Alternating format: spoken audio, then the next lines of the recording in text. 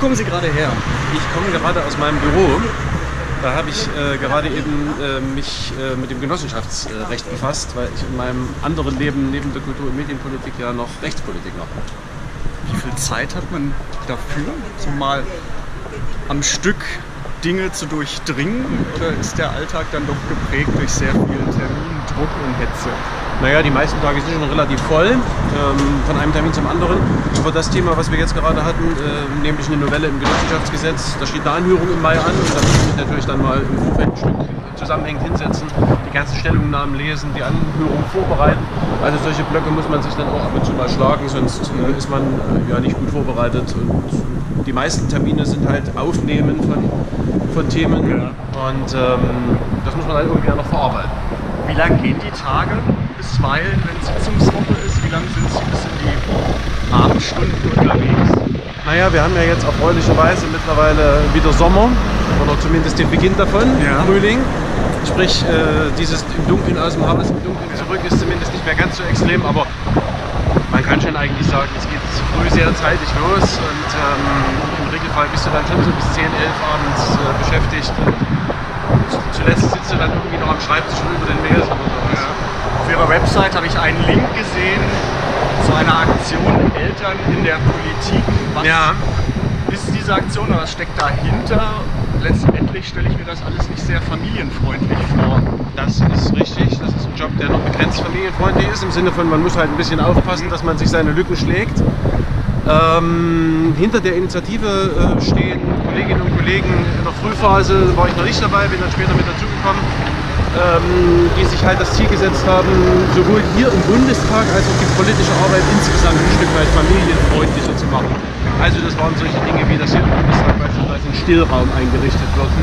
Ähm, das waren solche Dinge wie, dass ähm, in den ähm, Anwesenheitslisten beispielsweise ähm, eben vermerkt wird, wenn beispielsweise eine Kollegin oder ein Kollege in Elternzeit ist und deswegen Abstimmungen versäumt und nicht einfach nur als nicht da gilt.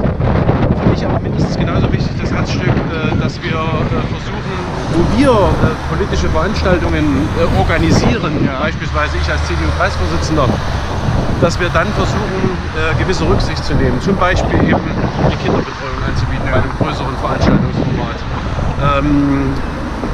Anfangs- und Endzeiten, nicht nur den Beginn von Versammlungen zu auch ein vermerken. Ende. Grundsätzlich keine Veranstaltungen an Sonntagen anzubieten.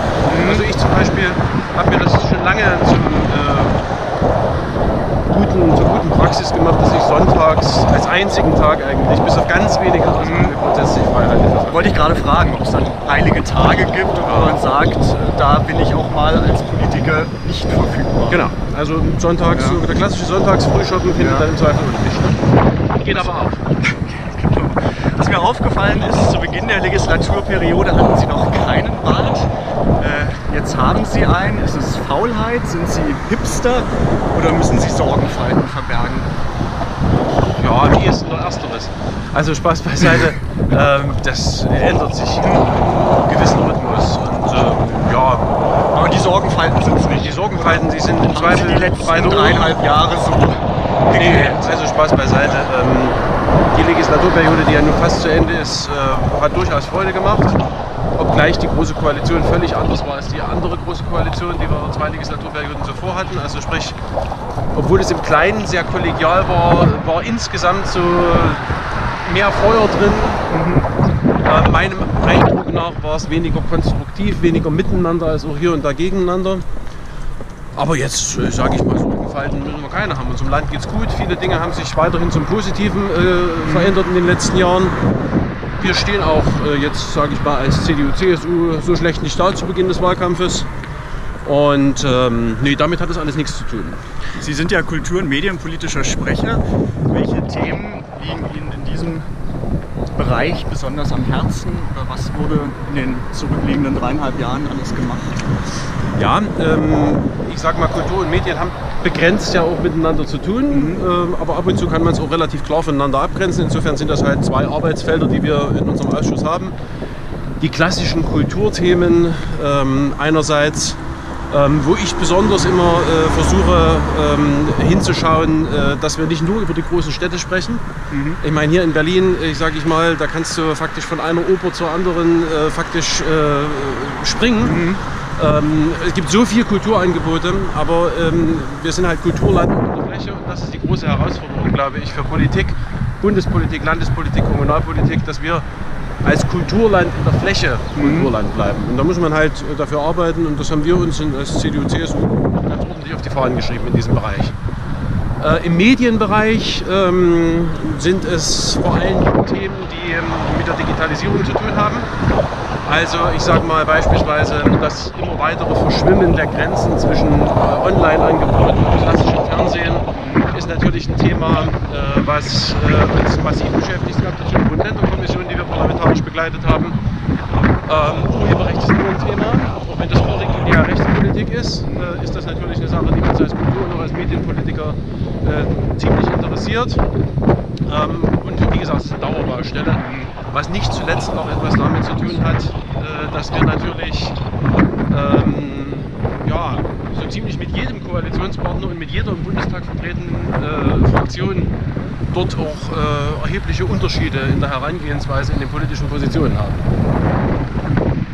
Merkt man dann jetzt auch, dass der Ton nochmal anders wird und die Wahl näher rückt? Oder sind es dann letztendlich eher Sachthemen, wo das politisierende, politische auch manchmal draußen bleiben kann? Es gibt nach wie vor Sachthemen, wo man ganz sachlich miteinander äh, was erreichen kann. Der Kulturausschuss ist traditionell ein Ausschuss, wo wir versuchen, ein bisschen auf Zwischenmenschliche zu achten.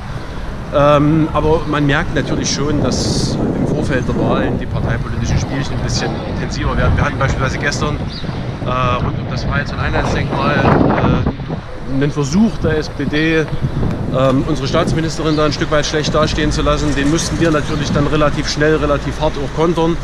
Gleichwohl werden wir uns heute wieder zum Berichterstattergespräch zusammensetzen, weil wir müssen ja irgendwie die Kuh vom Eis bekommen. Aber man merkt schon, dass Wahljahr ist. Sie haben die Staatsministerin erwähnt, die ja hier rechts von uns im Kanzleramt ihr Büro hat. Sind Sie da auch öfter? Oder wie läuft der Austausch zum einen äh, mit Staatsministerin Grütters, zum anderen auch auf Landesebene?